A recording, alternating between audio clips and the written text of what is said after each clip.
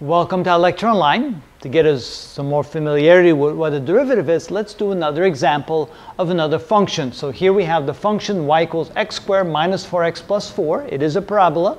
It has a minimum value here at x equals 2. It crosses the y-axis at x equals 4. You can find that easily by plugging those values in. When you let x equals 2, you get 4 minus 8 plus 4, which is 0. When you let x equals 0, you get y equals 4. So it's easy then to graph the parabola. But now we're trying to find the derivative of this function, in other words, the slope of this function. And right away, right away you realize since it's not a straight line, it's not going to be a single number, the slope of the function or the derivative function is going to be another function. So we're going to define the, the slope of this function by another function called the derivative. And to find the derivative, we're going to use this particular definition. It is the limit as delta x goes to 0 of the function evaluated x plus delta x minus the function evaluated x divided by delta x. Again, the concept is we're going to take one point right here and we're going to say that the coordinates are going to be x for the x coordinate and for the y coordinate is going to be the function evaluated at x. Then we're going to pick another point right there and you're going to say, well, that's a little bit further away to the right, so it's going to be x plus delta x. And when we evaluate that function, we're going to get f of x plus delta x. And then the, the slope of that, which of course would be the secant line, can be found by simply saying, okay, I'm going to find the rise over the run. This here is going to be the rise, which is going to be equal to the difference of these two, the f of x plus delta x. In other words, the function evaluated at this value for x minus the function evaluated at this value for x and divide that by, whoop, let me say that's the definition. And here is, of course, the change that's called the run. And it's going to be equal to simply the change in x. And then, of course, by definition, the slope is the ratio of the rise over the run, right? So we can say the slope, by definition, is equal to the rise divided by the run, which is going to be equal to the function evaluated at x plus delta x minus the function evaluated at x divided by delta x. Now, of course, that's the slope between these two points, but to find the slope over here, at any point along the function, we need to take the two points and bring them infinitely close together. I'm going to allow the delta x go to zero, so therefore the slope, or the derivative, can be defined by allowing delta x go to zero. So, in other words, we take the limit as delta x goes to zero of that ratio, which represents the rise divided by the run. All right, let's go ahead and do that now, realizing our function is defined right here. So the first thing we want to do is find f of x plus delta x. So let me do that on the side here so you see what we're doing. So f of x plus delta x is simply the function evaluated replacing every x by x plus delta x and see what we get. So this will be the quantity x plus delta x, quantity squared, minus 4 times x plus delta x plus 4. So this is what we mean by the function evaluated at x plus delta x. So working this out, this is equal to x squared plus 2 times x times delta x plus delta x quantity squared minus 4 times x minus 4 times delta x plus 4. So this then becomes f of x plus delta x, and let's go ahead and write that over there. So this is equal to the limit as delta x goes to 0 of f of x plus delta x, which is this quantity right here, which is x squared, and let me put that in brackets, plus 2x delta x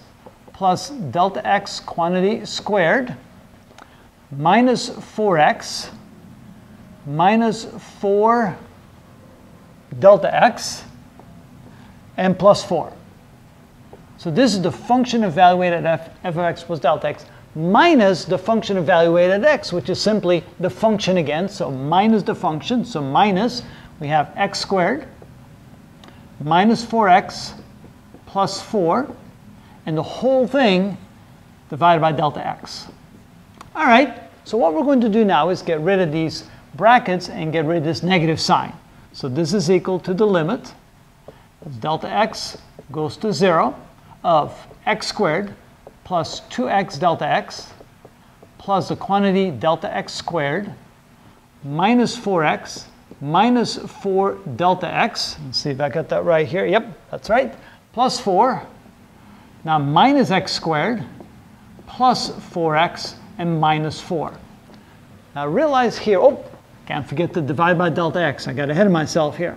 All right, now next, notice we have an x squared here and a minus x squared. So those cancel out.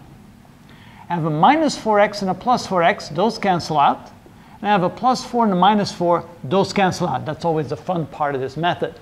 Now let's see what we have left over.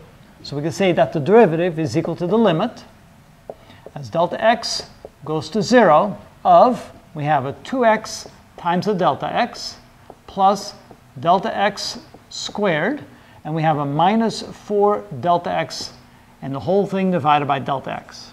All right, now you realize that I have a delta x in each of the terms in the numerator and I have a delta x in the denominator. I can divide the denominator into the numerator. When I do that, I get the limit, whoop, the limit as delta x goes to 0 of, so when I divide that in here, I simply get a 2x left. Here I get a plus delta x, and here when I divide that in there, I get a minus 4.